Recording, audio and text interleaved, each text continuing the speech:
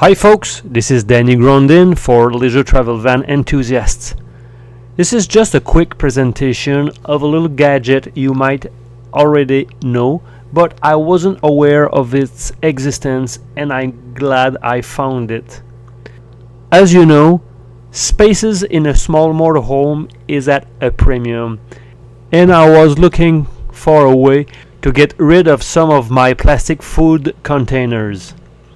So I was on the path of finding a good way to reseal plastic bags. I tried several different solutions.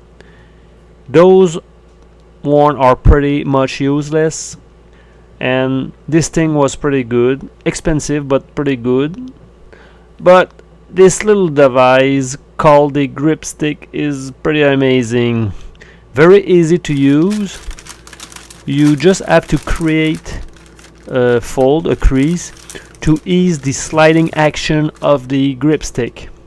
Pretty easy.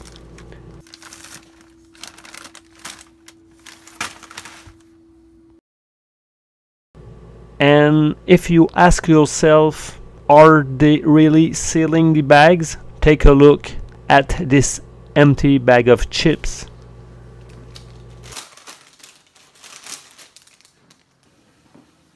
I just pour a glass of water in it and not a single drop drips out of the bag I find it pretty impressive this is certainly not an earth-shattering discovery, but it helps us improve our RV living lifestyle.